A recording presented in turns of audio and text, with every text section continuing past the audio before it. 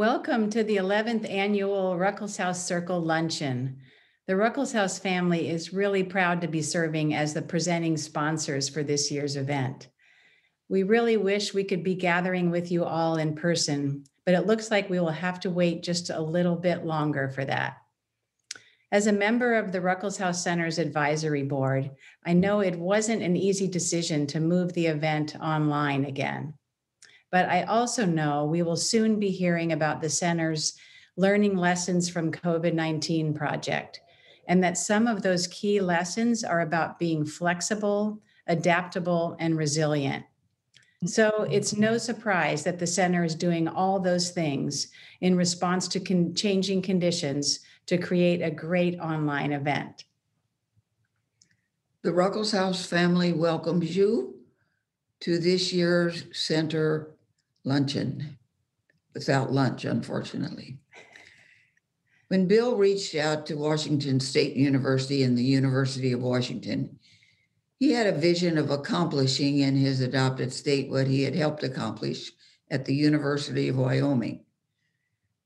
And that was a university based center where diverse interests could set aside the common win lose polarizing approach to public policy making and using the superior faculties of these distinguished universities and adding an advisory board drawn from across the political spectrum, the center works to achieve mm-hmm. consensus solutions to complex public policy challenges. Bill left us in 2019 in the certain knowledge that this center had become and would remain a trusted resource for addressing and solving such complex issues as those of the environment, natural resources, disaster recovery, public health, and many others. And now the center is moving confidently into the next generation of its work. As longtime director Michael Kern retires, hmm he has made a successful handoff to interim director Phyllis Schulman, which is exactly what I'm going to do right now. Phyllis? Thank you, Jill and Mary, and to the entire Ruckelshaus family for serving as presenting sponsors of today's virtual Ruckelshaus CERN Luncheon. I'm Phyllis Schulman, and I have the great privilege of serving as interim director of the center while the universities and the advisory board search for the center's next permanent director to really build on the amazing work that Michael Kern did during his 12 years as director. As a member of the center's core faculty and staff, I can tell you the center is in dedicated and loving hands while that search process is going on. I would also like to take a moment to thank our other very generous sponsors. Our premier sponsors, Costco Wholesale, Lynn and Jerry Grinstein, Perkins Coie, and the World Justice Project. I also want to thank our lead sponsors, JP Morgan Chase, Sally and Warren Jewell, Kongsgard Goldman Foundation, Linda Nordstrom, University of Washington, and Washington State University. I would also like to thank our sustaining sponsors and our supporting sponsors whose names you see on the screen. Thanks again to all of our sponsors. Your support of our work makes such an enormous difference in what we are able to achieve. And I also want to give thanks to a very special group, the people this event is named after and dedicated to, our Ruckelshaus Circle. This unique group of leaders understands the importance of the center being stable, flexible, and independent. If you are a member of the Ruckelshaus Circle, thank you for your commitment. Thank you for your dedication to the center and the future of our state and our region. If you're not a member, we encourage you to join or renew your membership in this special group by considering a gift of $1,000 or more today. And I also want to thank the Center's Advisory Board, a remarkable group of leaders from every sector and every corner of the state of Washington. Among other benefits, the board helps us to make informed choices about what projects we take on. A great example of that is the way the board members rolled up their sleeves during the first year of the pandemic to consider how the center could bring its unique talents and attributes to identify lessons being learned by the COVID 19 response and recovery in Washington. And here to talk about the project that resulted from that collective commitment is Benjamin Wilson, Director of Strategic Execution for the Kaiser Health Plan Foundation of Washington. Welcome, Benjamin. Thank you, Phyllis. Uh, as Phyllis mentioned, I serve as Director of Strategic Execution for Kaiser Permanente's COVID 19 division. We knew we'd have one of those. Uh, it has been nearly two years since the World Health Organ- Organization officially declared the novel coronavirus a pandemic. The world we knew then is not the world we know now. Uh, it changed, and all of us have changed with it. The response to COVID 19 in our state is marked by many incredible successes. For example, as of yesterday, 80.2% of residents five and older, or 5 million people, are fully vaccinated in this state. That is a landmark achievement, and we should all be very proud of it. Our response has also created an unprecedented opportunity to evaluate how we interact and lead. Uh, it has highlighted a need for improved cross sector collaboration and governance, the need for systems thinking approaches, and the engagement of diverse interests and perspectives for recovery and to prepare for new and reoccurring emergencies. That is why the Kaiser Foundation Health Plan of Washington was enthusiastic when we learned about the Ruckelshaus South Center's plans for its learning, learning from responses to COVID-19 project and why we funded the first phase of this important work. The goals of phase one were to initiate a comprehensive learning effort that takes into account the lived experiences of people from multiple sectors and identify lessons learned from our COVID 19 responses. We aim to use those lessons to create new approaches and solutions that address both new and longstanding challenges, and to apply race and equity principles to address disproportional impacts across our diverse communities. During phase one, the center interviewed over 80 individuals to identify key areas of focus for the more comprehensive phase two learning efforts, an impressive undertaking. Interviewees included directors of state agencies, business representatives, university leaders, healthcare organizations, funders, tribal leaders, nonprofit and economic development organizations, and more. Uh, as someone who works on COVID 19 response day in and day out, uh, I've appreciated the center's thorough and inclusive approach to this work. I value the type of questions the team asks, the way they ask them, and how they use their expertise to get introspective responses from such a broad range of partners. I'm also proud of the center's work to ensure that the approach and design of this project included a focus on race, equity, and social justice. As we move into phase two, there are opportunities now to look ahead, to re-envision public health as a public-private partnership, hardwire new emergency response frameworks for decision-making, rebuild our healthcare workforce with an eye towards diversity, invest in the resiliency of our small and medium-sized businesses and address systematic inequities in how our communities access services. Let me paint a picture for you what it has and could look like for the future. Last spring, our Kaiser Permanente team was part of a multi-sector partnership with big businesses such as Microsoft and Starbucks to develop a public-private partnership to rapidly design a playbook for how to efficiently run mass vaccination sites. This playbook was used at the Microsoft campus at events across the state and country.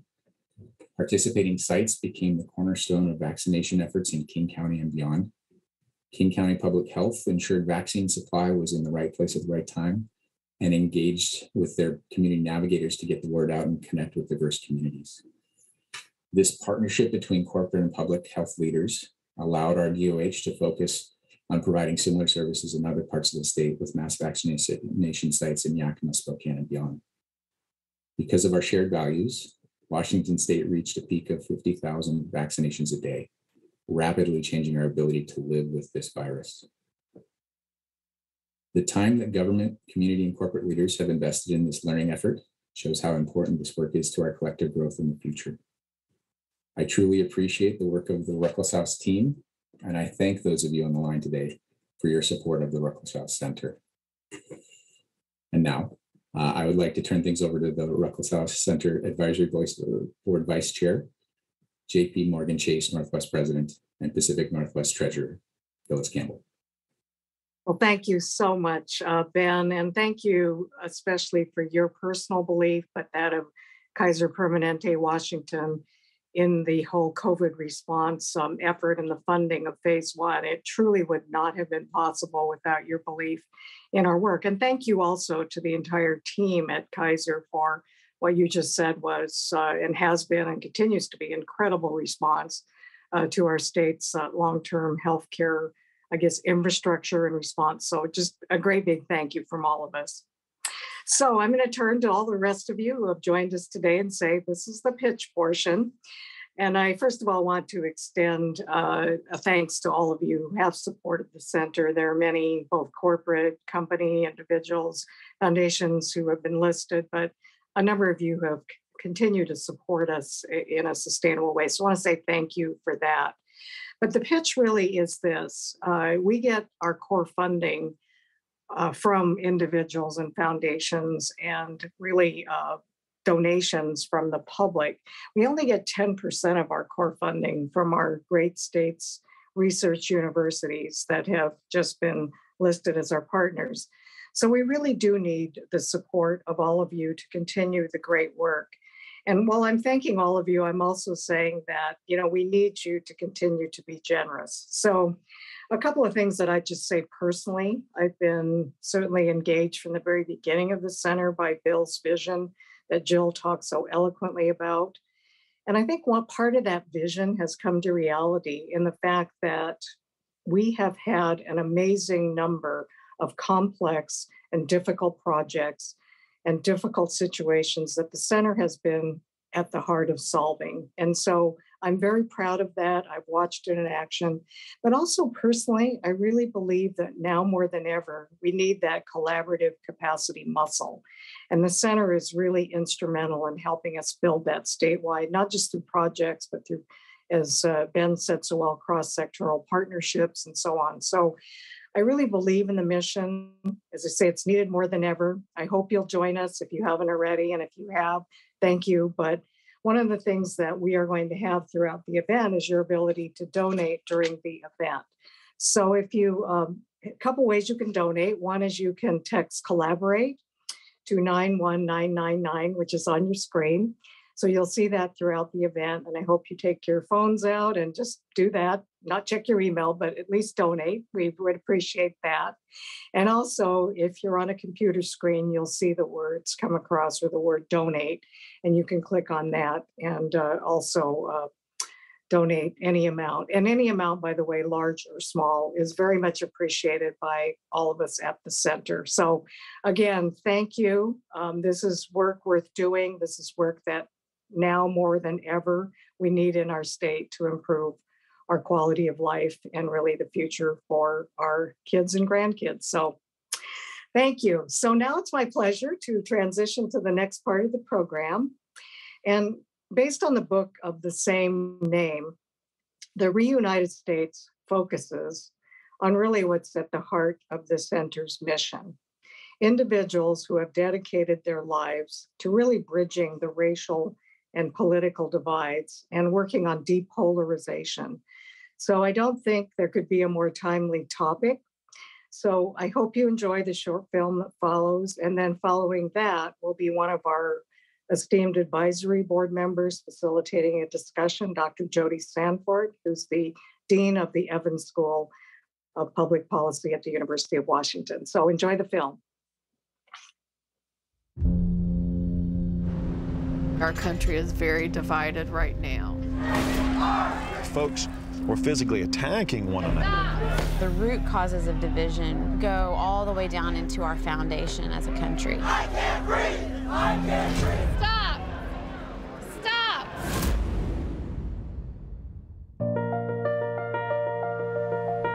If we're going to live in a democracy, all of us have to learn to be mediators and bridge builders. My daughter would tell you Let's get on to the issues that she died for.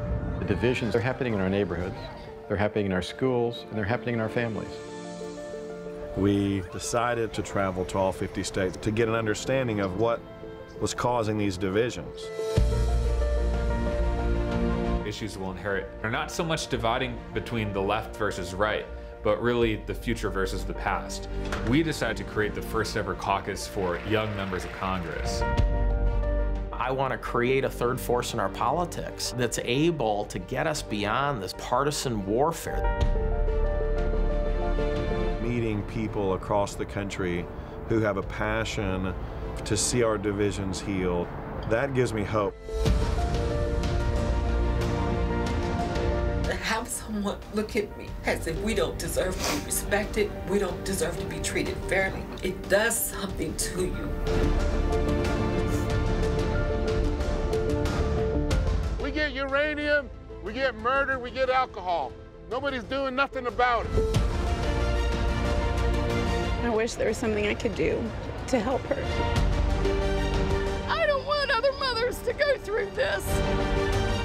This country needs bridge builders. Don't be afraid to reach out to someone who might not believe exactly like you believe.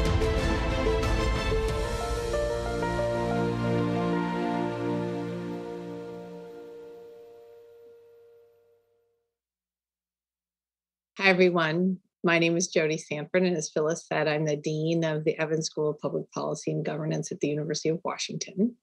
I've been here for a year, and in that year, I've learned an awful lot about this wonderful center that's a resource to all of us in the state of Washington. Um, and I've been particularly interested in this work because my own research focuses on the design of services and organizations to deliver more public value for everyday people. So I'm going to be facilitating the conversation today and loved the little clip of the video. We had hoped to show it um, at the university, but obviously the COVID 19 Omicron surge made those plans different. So it's my pleasure now to introduce uh, the people who are behind that film and the book. Uh, Mark Gerzon, who's the president of the Mediator Foundation, and he's really worked to bridge partisan divides in the US for over 25 years. Um, he's worked internationally with the UN and the US House of Representatives. And he didn't just facilitate those discussions, he helped to start an initiative called the Bridge Alliance, which is a coalition of over 100 respected organizations that are committed to revitalizing democracy. Um, he also wrote the book, The Reunited States of America How We Can Bridge the Partisan Divide. And for those of you who have not yet got it, I, I would encourage you to because it's really the catalyst for the film. Rekhi is an award winning narrator and documentary filmmaker, and he's worked with the Coen brothers and George Clooney. His debut feature film was an audience award winner called Waterborne, and his follow up film, The Ashram, starred Academy Award winner Melissa Leo and Kal Penn. He's doc- co-directed documentary series. It's for PBS. Um, and the Re- Reunited States is his documentary debut. Um, and it's executive produced by Van Jones and Meghan McCain and was released a year ago. So, what we hope to do today is use the power of technology to integrate this film with interactions with you um, we'd like to just let you know we want to hear your questions and we want to integrate it into the conversation we're going to have. So you can see here, just text questions um, to that number and you will be able to offer them and they will get fed magically behind the scenes to me and I can integrate that into the conversation. Before I, I pass the baton to Mark and Ben, it's important to note, I think that the Ruckelshaus Center is a convener, right, is a is a collaborative venture, as people said, between the University of Washington and Washington State University. Um, and as those of you in Washington State know, Bill was a really principled leader who was skilled at bridging the kinds of ideological divides that are the center of this book and this film. In the film, they note that the US is grappling with a polarization in our hearts and from what I've been learning about Bill, that would have pained him deeply. So, Ben and Mark, um, I'd like to you to share, start by sharing a bit about what motivated you um, for this book and film. What's the nature of your collaboration and what impact has this had? Thanks, Jody. I'll start by just saying that you know I realize this luncheon without lunch is uh, goes back at least a half a century. I mean, Bill Ruckelshaus started working in this cross partisan way back in the 60s when I was growing up in Indiana. Um, Michael Kern's been involved in this for a quarter of a century. I've been involved in this for a quarter of a century. Um, I wrote a book called A House Divided back in 1996 that started talking about this splintering of our country. So we've all been looking at this issue for a long time, and uh, I'm, I'm, delighted to be able to be together today because looking back the way I am, I, I realize that the seeds of this this discord, the seeds of this disunity, um, they have deep roots, and it's not going to be fixed overnight. And for me, the Ruckelshaus House Center is a is a it's a joy to be part of this because every organization in the country that's bridging divides is basically, I think, the key to the future of our country. Um, and I, I, first felt the need to do this in an intense way in 2014 when I looked ahead to the 2016 election. And I said, Jody, you know, this is going to be one of the worst, most combative elections we've ever had in our country's history. And I wrote The United States of America. It was published in 2016. And it's had quite an impact over the years, um, including us being together today. But one of the most fortuitous impacts was that I got a call from this young filmmaker in LA, Ben Rekhi, who said, you know, hey, Mark, um, I'm thinking about making a film called The Reunited States. And I found out you'd written a book by that title. And so um, our collaboration has been a joy, Ben. And I, I just, um, I just want to welcome you and say it's good to be on the on this stage with you. You too, Mark. I uh, it's been quite a journey, and it's true. The title is what brought us together. Independently, we both came up with this, thinking that it was too clever uh, and that someone must have used it. And I realized that Mark already had. Uh, so very excited to be with this group in particular, um, not just you know because of uh, the Ruckelshaus Center, which is paved the way for this kind of work to happen. Uh, you know, Mr. Ruckelshaus lived in and breathed this mindset, which is so desperately needed in our country right now, and the hard work that uh, that everyone in this organization is continuing to do to carry on that legacy.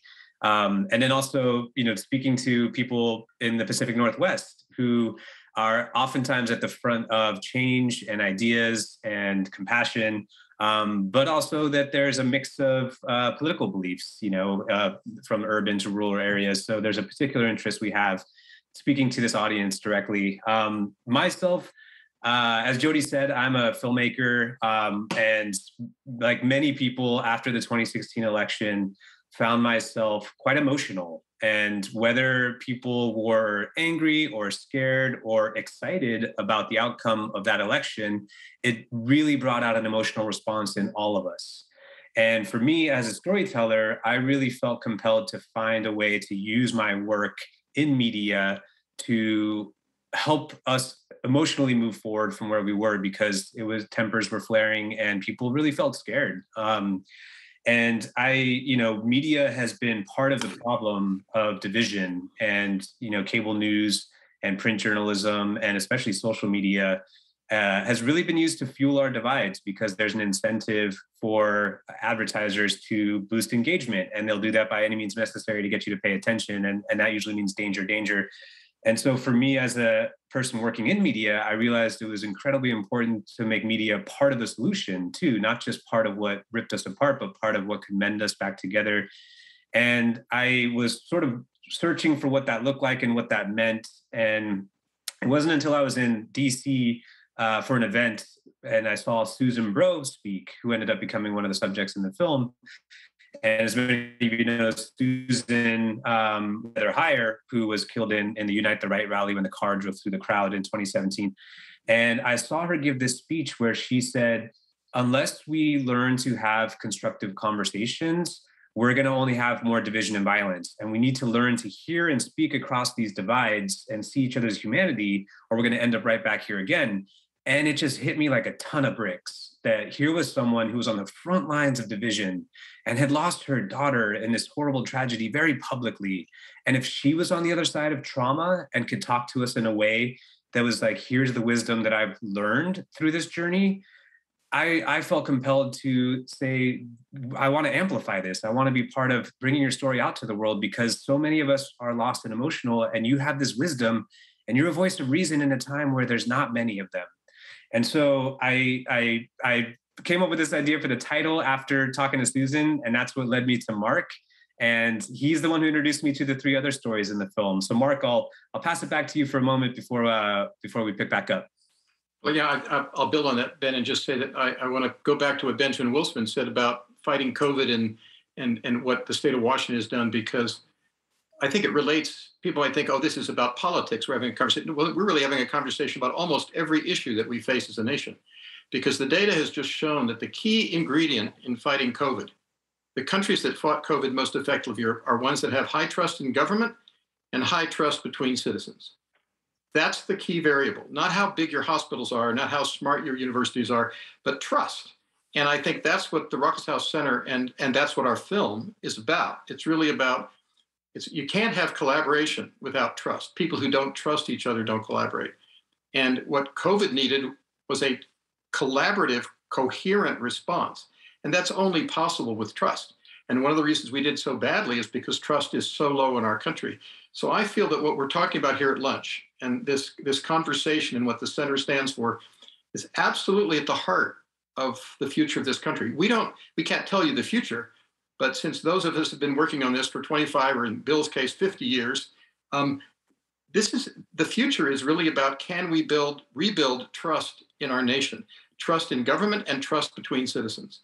To the degree that we do that, I think we'll solve many of the issues that the center and and the nation is dealing with. If we don't rebuild trust, we're in trouble. And, and, it's, and it's hard to measure trust. You know, it's easier to measure money and it's easier to measure, measure pollution, we don't know how to measure trust. And it's time that we really learn that because it, trust is really the key to what makes democracy work. If you have an authoritarian system, you don't have, tr- you don't, it's not based on trust, it's based on fear. But we have a system based on trust. And, and that's what I love about the film, Ben, is that I think you, you captured that in the characters you picked. Every one of those characters is working to rebuild trust in America. And I think that's really kind of uh, what, what we're going to see in the theme of the questions we're about to hear from from those and, and everybody what the center's doing. I think that's what really this is all about. And I, I, I want to honor you, Ben, for kind of looking through all the, the, the weeds and coming out with realizing this is really about people who rebuild trust, whether they're running for office or what, whatever their role is in society, they are trust builders, not trust destroyers. So thank you for that, Ben. No, thank you, Mark, and uh, I'm excited to get into the discussion in just a just a minute here. Um, but just to speak on Mark and I's uh, you know journey in this, Mark is considered kind of the godfather of the transpartisan movement, and you know when I was just starting out it was his wisdom in his book. And i encourage anyone who hasn't read it to read it because it's it's a very introspective journey and that's what uh, struck me most. And the film, uh, for anyone who wants to see it, we released on Amazon and iTunes, and we just did a PBS run um, that played to 200 million people in January, uh, which was super exciting. But it's available on Amazon Prime um, if you if you'd love to watch it. I think if you need a little bit of hope about stories of people that are trying to work to find solutions, bring us together, they're not getting a lot of amplification and that's why uh, I, I, believe that Van Jones and Meghan McCain uh, came on board. Is is they they recognize that these stories aren't getting the same kind of uh, spotlight as the more divisive media, and there's a lot of people in the in, in sort of the middle of the political spectrum that believe that we need to find to to hear each other and move forward. And I'll just say, you know, for me, what people ask, you know, what did you learn while making this film? And it really is that division is an internal issue as much as it's external. And each of us carry with us political bias, whether we realize it or not. We might think, you know, if we're on the left or the, we're trying to save our country, that we're fighting for the greater good, that we're trying to save democracy and we're trying to defeat the forces that are trying to ruin it. Well, I'll tell you what, people on the other side think the same thing. And until we don't look within ourselves and examine our biases, if we're using language like, all those people or all of them that supported this guy that in itself is a form of prejudice because we're dehumanizing entire groups of, of people without seeing their individuality. And what we're going to do now is, is show a clip from the film because really what it comes down to another another kernel of wisdom that i'd learned on this journey was we're only going to change the course of our country one conversation at a time. There's no there's no magic pill that will that will fix democracy. And it's the human to human interaction with someone different than you where you go in without prejudice not trying to change their mind but really listen to where they're coming from. And so the clip we're about to show uh, is from the film. One of the storylines is about a conservative family that decided to travel to all 50 states in an rv to find out what divides us and what they discovered was very shocking to them and it was very personal to them and so we're going to show um, this incredibly powerful scene from the film, and then we'll pick back up with the conversation. So we can go ahead and roll the tape. Generally speaking, um, I'd have to honestly say that I don't have a really great feeling towards white people. Um, a lot of it is because of some of my experiences and some of what I've seen my parents experience. Mm-hmm. I went into labor with my first child when I was seven months along. And my water broke while I was walking around the mall with my dad. He was buying baby clothes. Mm-hmm. And I went to the hospital. The nurse came in and I said, I think I'm having contractions. And she examined me very quickly and she said, Oh, you're not ready to have this baby yet. You call me back in here when you're ready to have this baby. And they let me lay there for hours. By the time the doctor came, I was crowning. And my first baby died. And I know that they did not give me the care and the attention that I deserved. I lost my baby because they did not provide proper care for me. I'm so sorry. And it's so hard to know that I'm a good person, I'm a good mother, and to have someone look at me or to look at my children as if they're criminals, as if we don't deserve to be respected, we don't deserve to be treated fairly. It does something to you mentally and spiritually and emotionally. I've never forgotten losing my first child because I was a black, unwed mother. And they didn't think that my child's life was as important as the child being delivered in the room next to me. michelle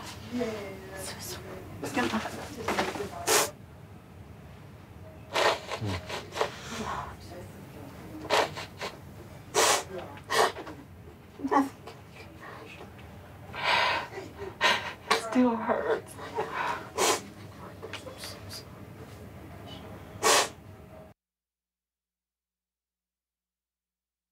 Wow, Ben. Really um, powerful human interaction between people, as you say, that are really different from each other.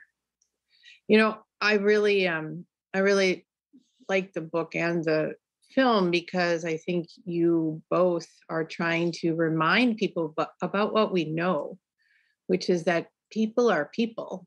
And part of what is so difficult these days is that larger forces are trying to um, make us forget that reality, I think, too often. And so, just a real heartfelt question for you both. Um, you know, clearly we're really divided right now in terms of how we're responding to COVID 19. Um, you know, in the last week, what we've been seeing about the debates around lifting the mask mandates. Um, and you know, we're we're watching the continuing investigations into January 6th insurrection. We're seeing attacks about the basic facts facts of our racialized history. We're witnessing, you know, increasing challenges because of the climate change, and so it's fueling this kind of collective anxiety and pessimism. And so, I guess I'd like you to reflect a little bit about how do you think those personal connections like the one in this clip like how is that part of the solution and, and is the personal connection enough I think the personal connection, Jody, is central. Um, but you know, what's the climate in our country now? Even if you put aside the pandemic, it's very hard for people to have personal connections across the political divide today because we tend to go into these bubbles. So that's where this question of courage comes in. You know, we're, we we like to think of ourselves as a frontier people. We like to think of ourselves as explorers and and and innovators. Well, one of the best ways we can explore and innovate is to get out of our bubble. And um, the kind of conversations that the Ruckelshaus House Center has sponsored, the kind of conversations that the film is catalyzing, the kind of comments and, and, and conversations that the members of the Bridge Alliance, these organizations that are bridging divides, I think that what they're all doing is they're trying to say, how do we create environments where those personal moments can happen? And I really honor this couple that was in the film because they were a Republican couple in Dallas, Texas, who happened to hear me on PBS or on, on NPR one day, and they literally sold their home, bought an RV, and said, "We can't say we love this country if we don't know this country." and they then went and traveled all 50 states, including yours. Um, so it's like, to me, that's courage. That's the kind of American courage. That's the kind of American patriotism we need right now. And, and they had a lot of those personal encounters, and I, I think they're essential. But we also need to have the institutional framework that makes those possible. Yeah, I would I would echo Mark. Um, there's many levels to division that we're experiencing as a country. Um, obviously, in our government, uh, in our media, our institutions, our communities, our neighborhoods, and especially in our own families. When we talk about how deeply personal this is, all of us have family members that we vehemently dis- disagree with. And it's really difficult because we see part of our identity wrapped up in that other person. And it can be deeply unsettling to us to, to have them see the world so differently than we do. Um, I, and, I, I would go back to the idea that there's a difference between how we feel about our elected officials and how we can feel about each other um, you know, leaders, there's a different incentive at play for political parties to win elections. And that includes riling you up and getting you angry to get to the ballot box. So their goal is to win the election, not necessarily repair public good or even solve problems, because sometimes they need those problems to, to exist to fire people up to go to the ballot box. Uh, media, for example, another big institution, they're going to show you the extreme 10% of voices on either side that get you so furious that you keep watching and because that's their advertising revenue that comes in. Same with social media. And so the the institutions that are are are fueling divisions are incentivized to do so. They're not they're not here to repair how we work function as a country and as a society. So the interpersonal relationships are extremely important because all we can really do is do what you can with what you have where you are. And that means in every day of your life, there's a decision. Are you going to be angry at people you don't know and say all those people believe the election was stolen? How can they do that? Like there, there's a sense that people are suffering and they're looking for answers. And when you have someone that says, this is why you're suffering and this is the reason, I can't, I, I can understand why people would, would say, oh, this explains why I'm in this disposition. And on the left, when I was growing up, conspiracy theories were, you know, the Illuminati, and on the right, it's now QAnon. And and the same thing was this global elite is behind, you know, pulling these strings.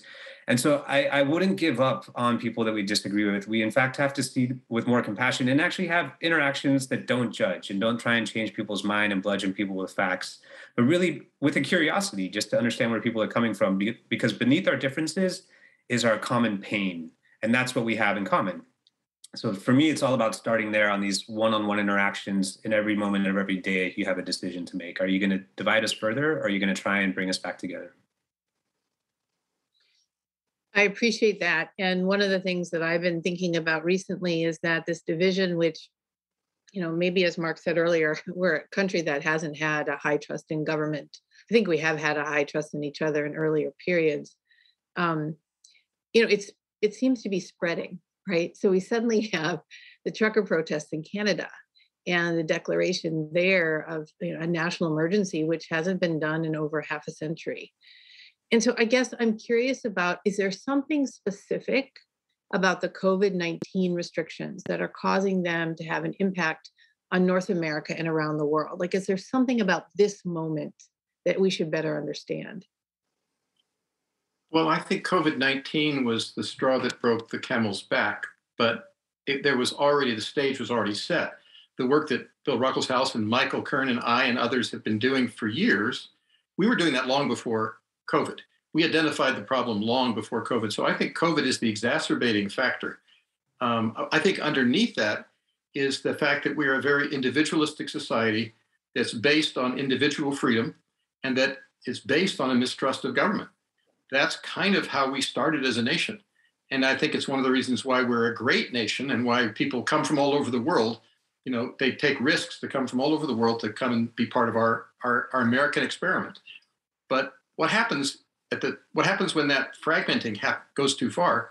I think it's that what we're seeing. That's what we're seeing now, Jody. I think we're seeing that now, and and for me, COVID exacerbates that because it actually brings up this issue of trust in a way that, um, you know, I mean, the truth is, school textbooks bring up the issue of trust. Uh, economic inequality brings up the issue of trust. Um, election laws and election rules um, bring up the issue of trust. So trust is already at risk in America, and COVID just made it made, basically made it, uh, you know, a, a, almost a life and death issue. And for me, it's it is a life and death issue because we have lost lives in this country because of low trust. And and you know we haven't mentioned it, but you know this country could witness a war in Europe um, within the next week. And traditionally, Americans would pull together. We'd pull together because we'd said, well, we have to fight foreign enemies. We'd pull together because we'd say, well, we have to fight in a global economy. And what we're now like is, I mean, imagine if the if the LA if, if the LA and Cincinnati teams at the Super Bowl had been divided against themselves. a team that was divided against itself at the Super Bowl would have lost.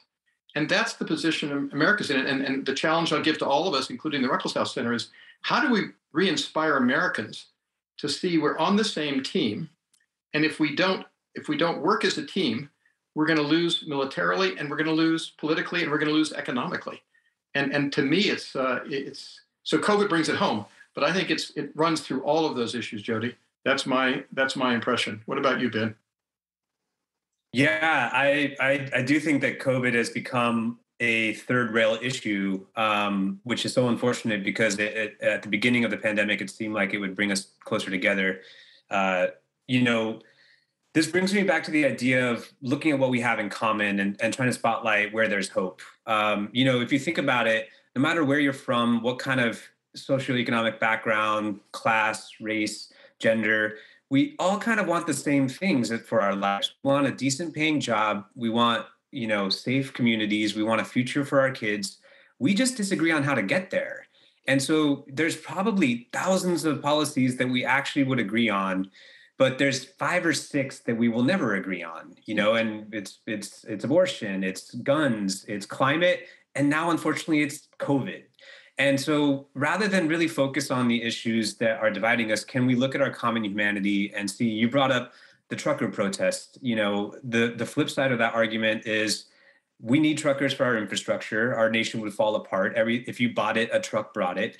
And you know, they're spending a lot of time, they're working long hours on the road, they're by themselves, they're not interacting with people. Did we need to force them to do something to their public health that they didn't feel comfortable doing in the same way that we needed to with hospitals or schools where there's actually large volumes of people and it affects a lot of other people and and there maybe their protest is saying we're killing ourselves out here as frontline workers and you're imposing something on us that we don't feel safe doing and so I, I think it's important to always understand where the other side is coming from i'm not agreeing or condoning i'm just trying to um, understand but yes, it uh, there are there are paths forward, and and you know, COVID is one of the toughest things because we have to look out for our family and who we care about the most. Um, but ultimately, it's hard to impose uh, on other people what we what we want to do for ourselves and our family. For those of you who are watching, um, remember we're going to take questions from you, and so a question came in um, from the chat um, that that basically said, you know, we've been talking today about people who've been trying to build trust for 25 to 50 years. Given where we are, would you say they haven't succeeded? Or do you think we'd be in a much worse place without those efforts? Well, I think the question is very timely. And I've often said when people would say, Well, why are you leading this meeting? I would say, Because I'm the biggest failure in the room. Um, because as, as, a, as, a, as a movement, uh, we have failed. I mean, look at is, is, is the Republican Party the party of Bill Ruckelshaus? No, you know. Um, so we've we've we've all we all have to look at it in the mirror and say, why isn't this working? And I think that's why I'm bringing us back to the issue of trust, because most of us, you know, when we say, what are we doing? What's our career about? We say, well, we're a doctor, or we're a lawyer, or we're a politician, or we're a professor. We don't say we're a trust builder. And I think more and more of us have to start going, is what I'm doing with my life, is the way I'm making a living, is the way I'm conducting myself. Am I a trust builder or not? Because I'm, I'm serious. Um, you know, we're all worried about climate change because there's a rise in centigrade, centigrade and one centigrade and a half temperature rise, and they think that's going to imperil the Earth. I think the other thing that's imperiling the Earth is this precipitous drop in trust. And so I think that's, Jody, if I said, what is the mistake that the movement has made? Uh, the movement has, you know, has probably made the mistake of thinking that the changes are all on the outside. It's about gerrymandering. It's about campaign finance reform. It's about changing the primary structures. All of those are important. All of those structural issues are important. But underneath them all is this question of trust. And I think we haven't taken that seriously enough. And I think it's time we do so. Another question actually coming from the audience is, um, I think, directed to you, Ben, really, which is in the film, you focused on a conservative family who learned to appreciate broader views and perspectives. And the question is do you wish you also had a progressive family to follow who'd learn to appreciate conservative views and perspectives? It's a fantastic question, and and yes, I do think it's it's a really fair point um, that people have brought up. And of course, I, in retrospect, I think would have uh, even more balanced the film to have someone, you know, from the left journeying for, you know, towards the right to understand, uh, you know, where people are coming from with different political beliefs. Uh, the maybe there's a sequel. maybe we can go back and do the re reunited states. Um, but it, you know, ultimately, uh, the film is watching people undergoing the transformation that we all need to undergo, which is the self examination and the introspective look at our own political biases. We walk around with such a thick partisan lens that we view everything through, uh, and we don't realize necessarily that we're you know judging people or being we we are part of the problem and i think that's a really tough moment to face for anyone who's on the left or the right is to is to point the finger inside and say I can't change other people. The only thing I can change is myself. And that maybe is my contribution to the greater good is readjusting my anger towards people I disagree with because that collectively is causing this hysteria. Um, but it's a really good point. And and uh, Mark, maybe we should do the sequel. Well, and maybe we should. I just want to say that the Levertons made very clear uh, that they're not Democrats now. They said, "Don't think we're Democrats now.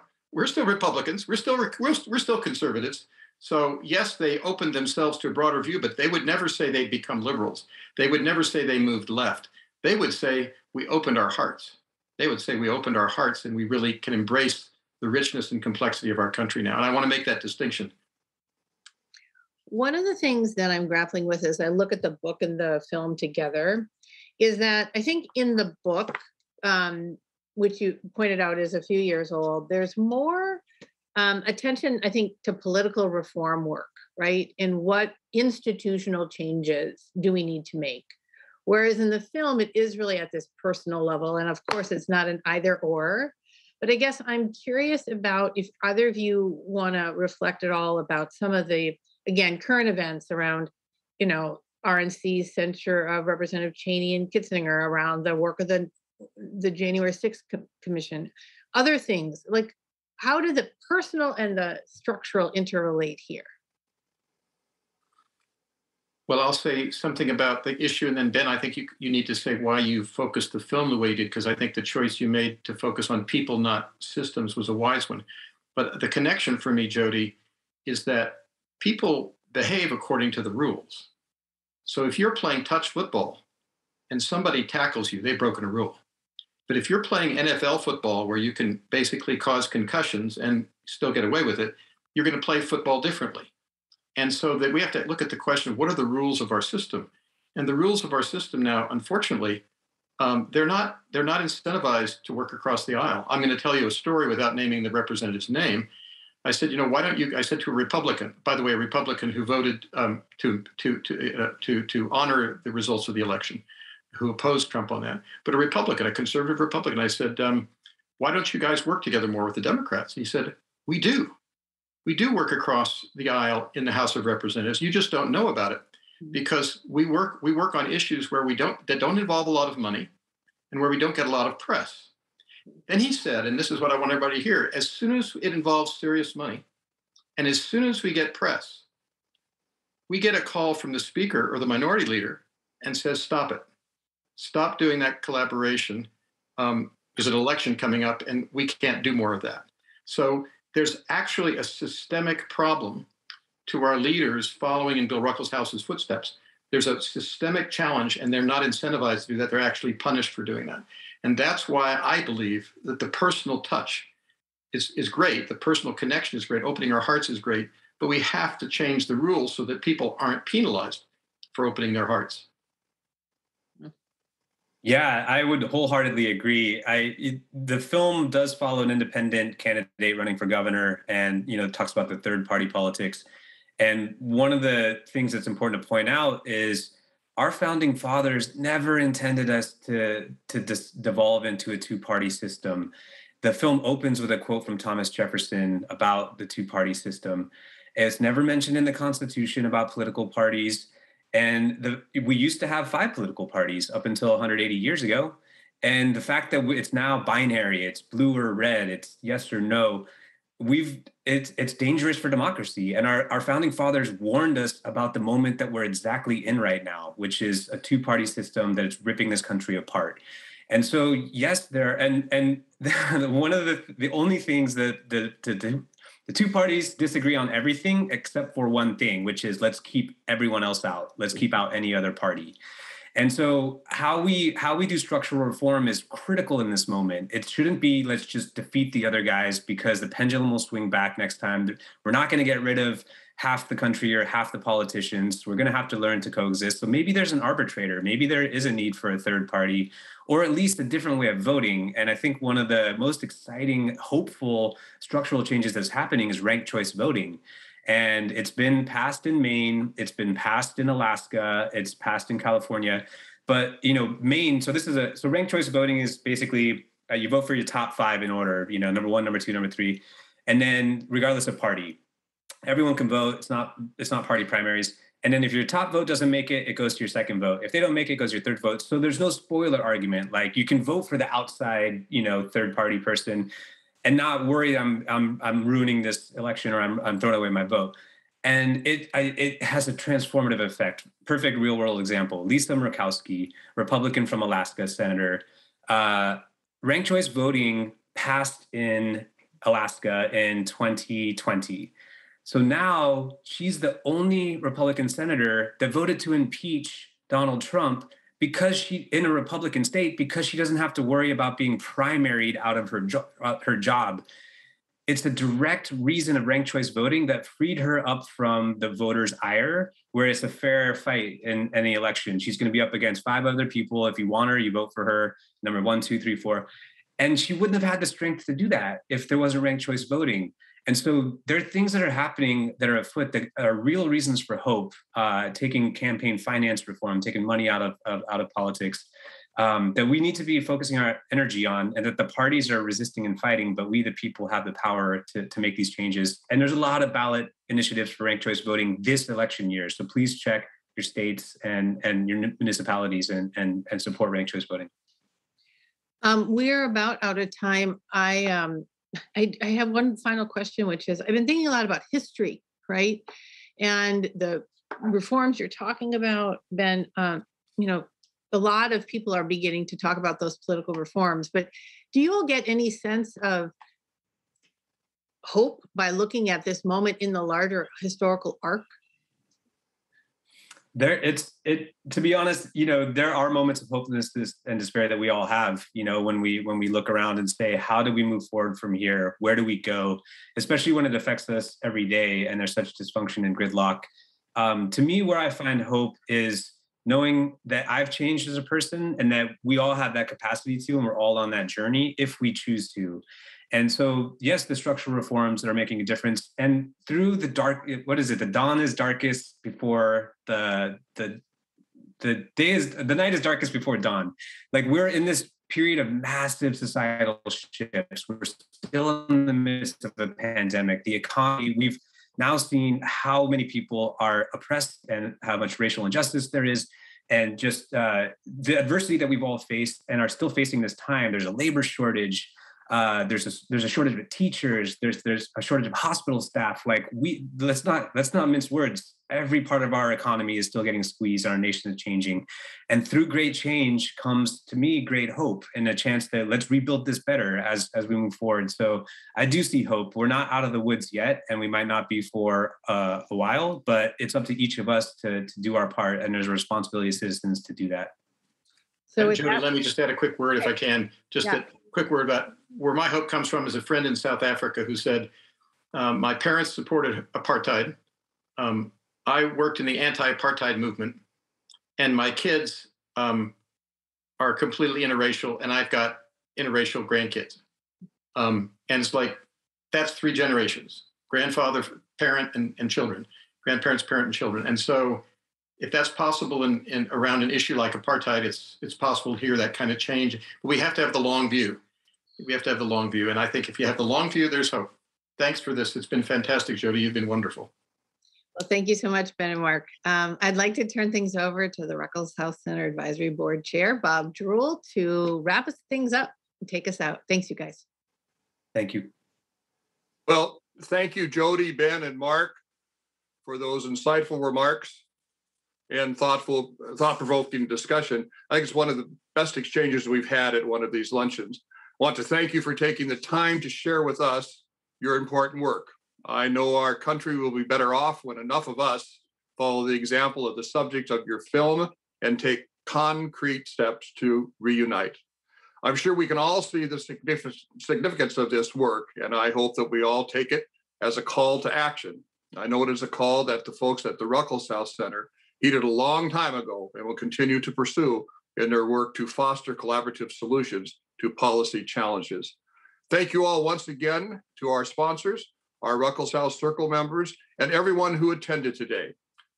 If you purchased a ticket for the event and have not yet viewed the film, the virtual screening room will remain open through February 18th, and I hope this has spurred your interest enough that you will now do so. You will also be receiving a copy of Mark's book upon which the film is based. It's also not too late to make a donation, large or small, to ensure the center is where people need to help need who need help can come together to solve to solve problems when they are ready to reunite. Have a great rest of your day, and we hope to see or hear from you very, very soon. Thank you for attending.